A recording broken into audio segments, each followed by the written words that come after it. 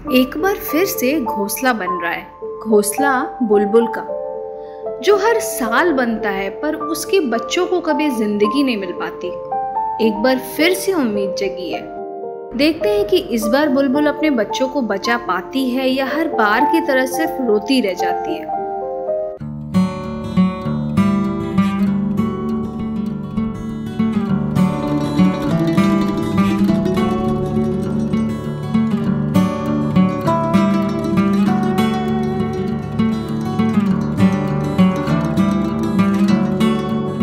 Hello and very welcome to little conversations मैं हूँ सना और आज मैं लेके आई हूँ मेरे घर के छोटे से चिड़ियाघर से एक और कहानी। कहानी उस बुलबुल की जो हर साल घोंसला बनाती है मेरे घर के अलग अलग हिस्सों में। ये वीडियो दो साल पहले की है जब उसने मनी प्लांट के गमले में अपना घोंसला बनाया था।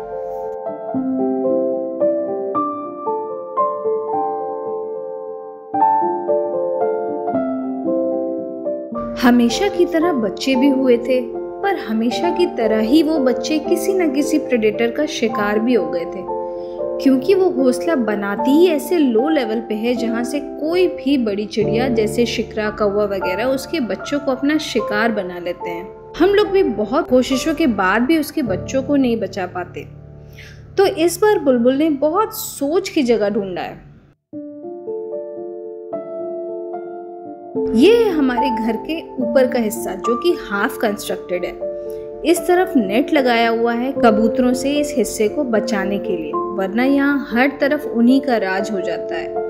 और यहाँ पे लगा है पंचिंग बैग जिसे बुलबुल ने चुना है अपना घोंसला बनाने के लिए।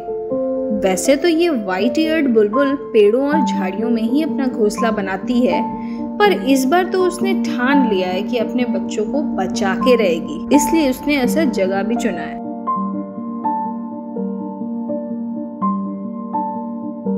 यहाँ लगे नेट ने बड़ी बर्ड्स का रास्ता रोक दिया है, और ये पंचिंग बैग जो ज़मीन से इतना ऊँचा है, वो बिल्ली और सांप जैसे चीज़ों का भी डर दूर कर दिया है। बुलबुल ने दिमाग तो बहुत सही लगाया है, अब देखते हैं इसे कामयाबी मिलती है कि नहीं। इसके बच्चे खुला आसमां देख सकते हैं कि नहीं।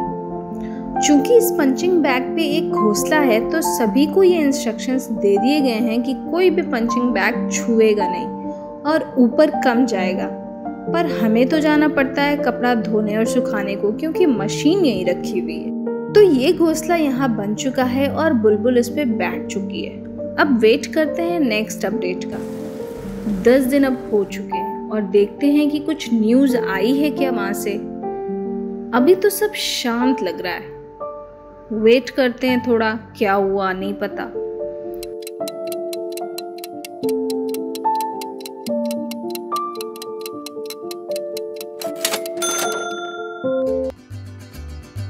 अरे माशाल्लाह, इतने प्यारे प्यारे दो बच्चे दिखे।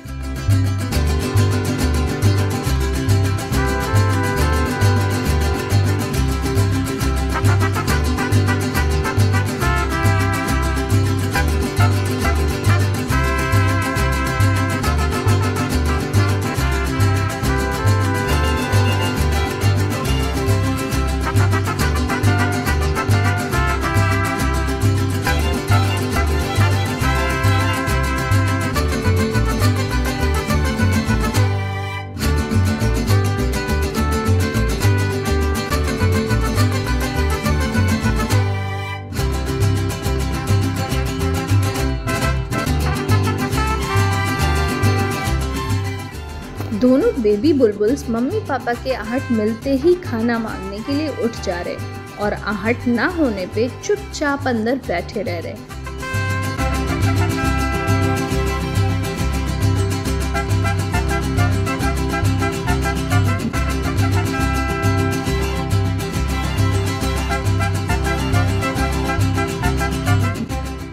दोनों पेरेंट्स लगे हुए हैं अपना हंड्रेड परसेंट देने में, जैसा कि वो हर साल करते हैं। इतने बड़े बच्चे हर साल देखने को मिलते हैं हमें, जब उनके पंख नहीं होते। पर पंख आने से पहले ही वो किसी न किसी का शिकार बन जाते हैं। कुछ दिन में फिर देखते हैं कि इन बच्चों का क्या होता है, इन्हें ज़िंदगी मिलती है या फिर किसी का खाना बन जाते हैं।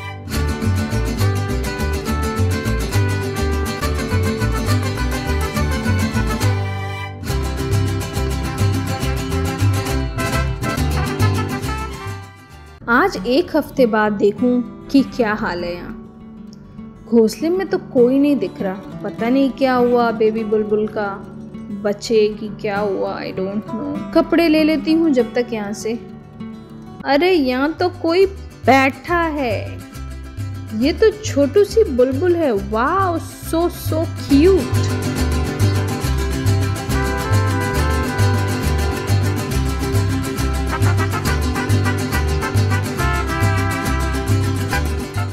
ये तो उड़ना सीख रही है। मतलब इस बार बुलबुल का पेयर जो है वो कामयाब हो गया।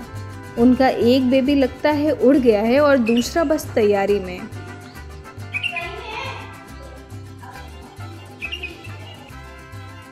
मैं तुम्हें कुछ नहीं कर रही छोटू बुलबुल।